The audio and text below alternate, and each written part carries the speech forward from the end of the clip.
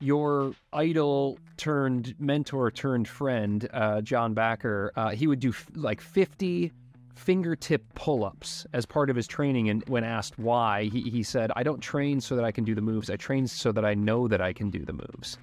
Um, essentially, this thought towards, I think, especially with the stakes being so high when it comes to soloing, that um, the training became a way to uh, essentially build confidence. D- d- is that a concept that that um, resonates with you as well? Essentially, just training well beyond what you would ever need to be actually called upon to use on a particular climber crux? Uh, okay, so I when he was doing all that stuff, you know, I just shook my head and you know headed for the crags.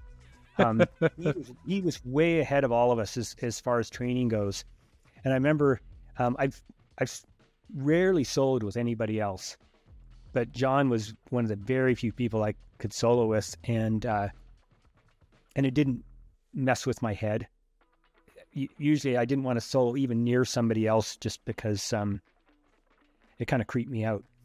But he was so solid that sometimes we'd go soloing together. But um, and we would just do tons of pitches um, at some of the crags in in Yosemite.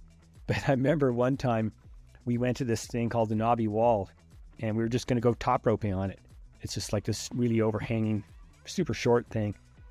And I got on one of the easier routes there. I can't remember, Easy 512 or something like that. And I, I, I think maybe I barely did it, but he was just astonished at how weak I was. You know, he says, How can you climb 511 cracks all day long and, you know, basically thrash your way up something like this? He was brutally honest, but it was it was super true. Um, but for me, it uh, I I would have done well to do at least some of the stuff like he was doing, but my focus really was on uh, on long routes, on long crack, and in basically in North America, particularly in Yosemite, mostly that means long crack routes. Um, but sort of in the way that you're talking about with John and how he said, I just don't want to be strong enough. I want to know that I'm strong enough. I want to feel basically that I have, you know, a lot in reserve.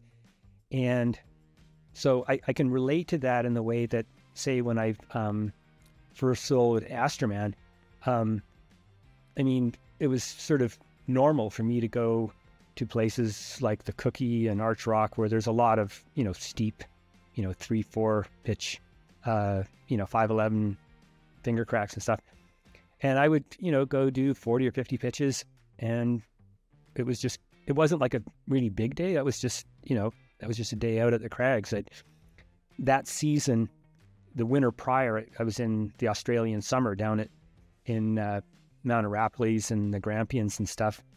And, you know, on some days we, you know, I'd, I'd get up to, you know, over 100 pitches in a day. So, anyway, what, I, what I'm Jesus. doing is, or just apart from spraying, is is just saying by the time I got to Astroman, it was just kind of like, you know, before I actually jumped onto Astroman, earlier in the morning, you know, I went down to um, I don't know if you know any of the routes there, but basically down valley and did uh, you know some multi-pitch 511 crags um, or routes to just uh, partly in a way of uh, like historically, I, I did some solos of some routes that Bachar done, and when he did them, they were kind of, you know, uh, landmark 511 solos.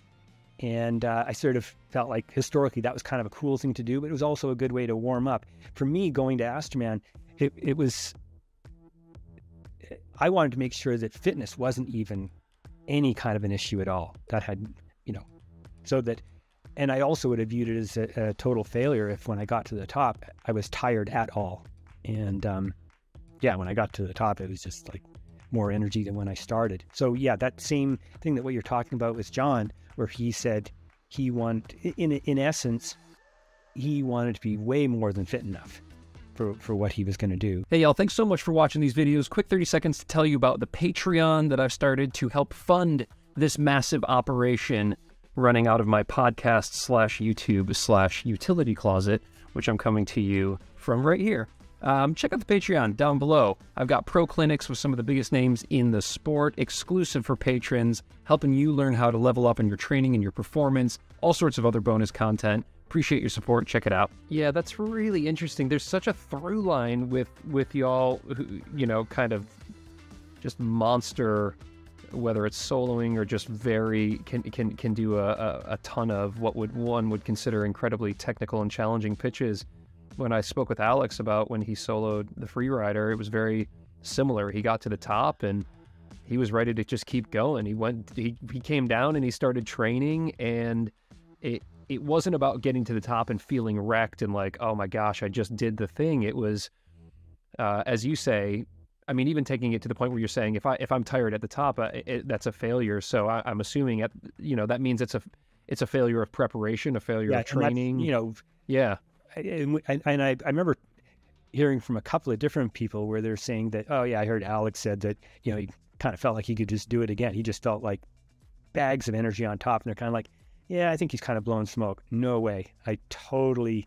Um, I thought it was only not only. Uh, very believable, but also it was great to hear that it wasn't like, oh man, I, I picked a bad day or I started to feel sketched, or instead he just felt like, you know, he had, he had over prepared. And that's exactly what you should do in that kind of situation. And, and part of it is so that you can take it in, so that you're not just kind of like, oh, this incredible uh, tunnel visions just and just trying to keep it together to get to the top, but instead feeling like, wow, look at where I am. This is like one of the coolest things ever, maybe the coolest thing he'll ever do. Um, and to be able to really drink it in. And, and part of that means you have to over prepare.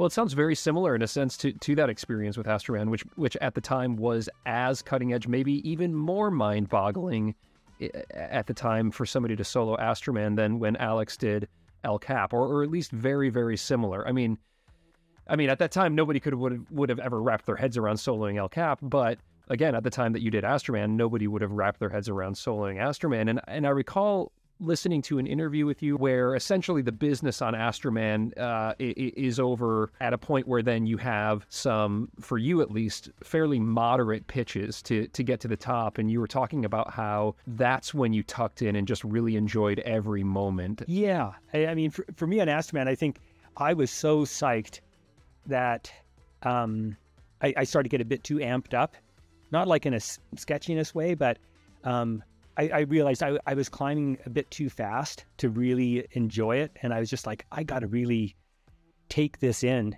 And uh, so at a certain point, about two thirds of the way up, or maybe a bit less, there were still some more 511 pitches up higher, but um, I stopped on a, a ledge and took off my shoes. And, and, you know, I'm just like, it was like this ideal that I'd had ever since I was a little kid watching Tarzan movies. You know, Tarzan swinging through the jungle you know, I'm up there and I got like, you know, some red Adidas running shorts on, no shirt. I've taken off my shoes. There's nobody else on the wall. And I'm just checking out where I'm in. And you're surrounded by all this orange streaked granite walls just overhanging above you. And I'm just like in this super cool place. And I just hung out there for a little while, looking over at Half Dome and checking out where I was. And then put on my shoes and, and just slow down enough to just to really um, imprinted on my mind and to really take it in so that um, so that I wouldn't lose it.